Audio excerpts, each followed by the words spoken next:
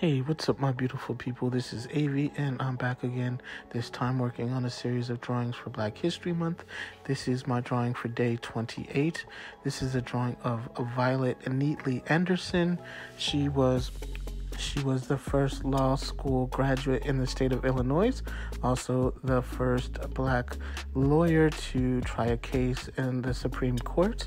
Um, this drawing, again, was a really bad reference photo, but I really liked her story, so I just had a very mild uh, contrast in this photo.